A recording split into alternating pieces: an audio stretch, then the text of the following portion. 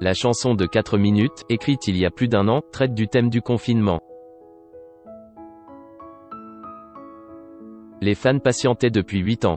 Les Rolling Stones ont sorti jeudi leur première nouvelle chanson originale depuis 2012. Intitulé Living in a Ghost Town, Vivre dans une ville fantôme, ce titre de 4 minutes est particulièrement adapté à la pandémie qui touche actuellement le monde. Écrite en 10 minutes.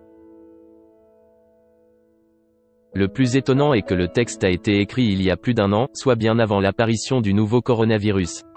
Dans une interview à Apple Music, Mick Jagger a confirmé que la chanson n'a pas été écrite pour maintenant, c'était un de trucs bizarres.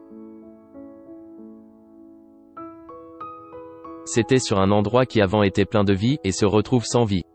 Je jouais juste de la guitare et je l'ai écrite vite, en 10 minutes, a ajouté le rocker de légende, âgé de 76 ans. Le groupe a su ensuite s'adapter à la situation. Avant de sortir ce nouveau single, le chanteur en a modifié un peu les paroles pour mieux coller à l'air du temps. Certaines choses ne marchaient pas, ou semblaient bizarres ou trop sombres, a-t-il indiqué. Les nouvelles paroles évoquent ainsi chaos, destruction, et solitude de l'isolement, please let this be over, faites que ça se termine. Stuck in a world without end, coincé dans un monde sans fin. Les Rolling Stones devaient donner 15 concerts en Amérique du Nord à partir du 8 mai, mais tous ont été suspendus. Samedi dernier, le groupe était en vedette d'un concert virtuel organisé par l'organisation Global Citizen en collaboration avec Lady Gaga pour soutenir les soignants mobilisés face à la pandémie.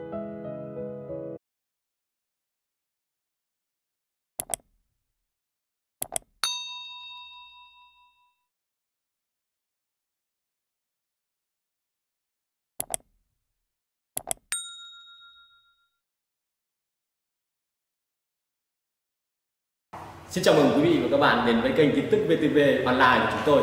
À, hôm nay chúng tôi sẽ đưa đến các bạn những tin tức mới nhất của trong ngày và tình hình dịch Covid-19 hiện tại đang lan rất rộng trên toàn thế giới và nước ta là một trong những nước mà có những ờ, mầm dịch ờ, được hạn chế nhất. Và hôm nay ờ, VTV của chúng tôi sẽ đưa đến cho quý vị và các bạn những tin tức tuần tự và các tỉnh thành